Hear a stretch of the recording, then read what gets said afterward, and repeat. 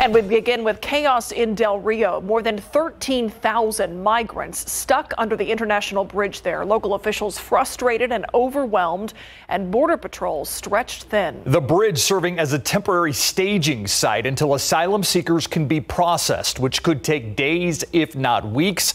And with temperatures of more than 100 degrees, a heat index at 105 today, those conditions are grueling. John Paul Barajas live in Del Rio tonight along the border fence there. John Paul, what are local officials telling you and what are local citizens saying? Well, first off, Steve, Myra, we've been out here all day, and to say the least, it is extremely hot. Now, since we've been here, this is the closest they've let us get. Federal officials have been strict about letting media go past this fence. So since we can't really see too much from where we're at, we've been asking local residents about what they're seeing. And Eileen Ramirez is a mother of four. She lives about 30 minutes away, walking or a five minute drive from the International Bridge. In her 27 years living in Del Rio, this is the worst she's ever seen it. Thousands of people crowded under the bridge trying to find shade and resources while they wait to be processed.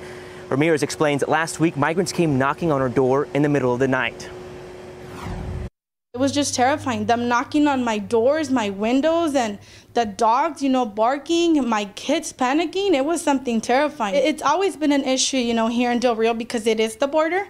But this time it's totally different because it's thousands. We're talking about thousands of immigrants.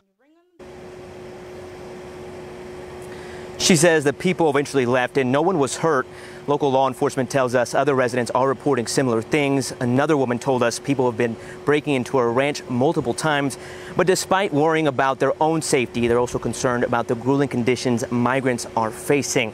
And moments before we came on air, we spoke to a county commissioner who said the federal government will be shutting down the international bridge at 6 p.m. So it should be shutting down right about now.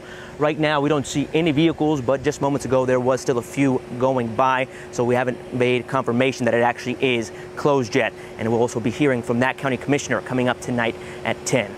John Paul Barajas, KSAT 12 News. Thank you, John Paul. The Del Rio mayor says most of the migrants in this recent surge are Haitians. National humanitarian groups say the Biden administration will reinstate deportation flights to Haiti, a country in turmoil with the assassination of its president in July, a 7.2 magnitude earthquake in August, and the 2010 quake that forced many Haitians out of the country. We've reached out to the White House, Department of Homeland Security, and U.S. Immigration and Customs Enforcement for confirmation and we have not heard back.